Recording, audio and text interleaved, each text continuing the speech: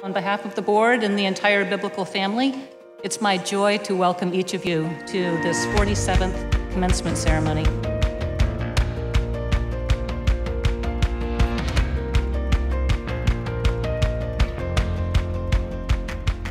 It was here at Biblical where the slogan, following Jesus into the world, was more than a declaration to me, but an assignment in which involved the moving of our hands and feet and our hearts to where Jesus is.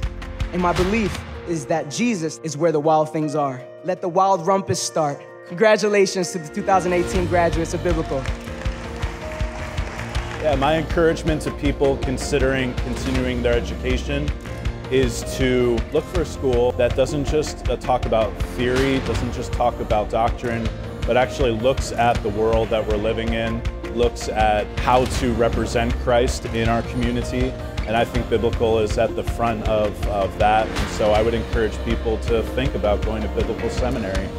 I urge you, preach, teach, live the biblical balance of prayer and action, shape congregations that place equal emphasis on the inner life of the church and the outward mission to the world, nurture congregations that every year lead scores of people to confess Jesus Christ for the first time, and then throw your arms around those people and walk with them to wholeness.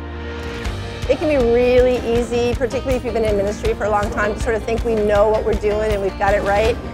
And being around people who think really differently, reading books that challenge you, come at life and ministry from a different perspective is life-giving. Uh, it's paradigm shifting, totally grew my relationship with God, and changed the way I do ministry like, for the better. God was using the education I had chosen and the education I didn't ask for.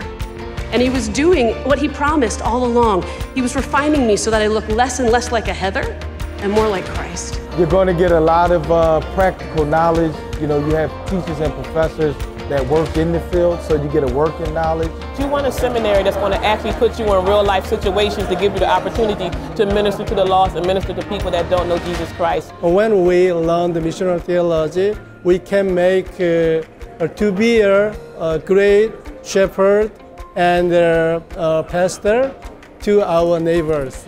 Come and see. I just want to thank uh, everyone that supports Biblical Seminary. I want to thank you for your kind prayers, your kind gifts, and you're really doing the Lord's work, helping men and women train for their service to the kingdom. May they sing of joy even in the dark and lonely places, and may their voices rise up to pronounce justice and peace in the world. May each one know your presence in their lives and find ways to use their abilities for your glory and for the furthering of your kingdom on earth. May they continue to live lives of curiosity and discovery, of dedication and discipline, of compassion, generosity, and in doing so, bring great blessings to the world. Amen.